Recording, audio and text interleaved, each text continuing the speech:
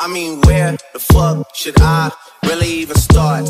I got hoes that I'm keeping in the dark. I got my niggas cross the street living large.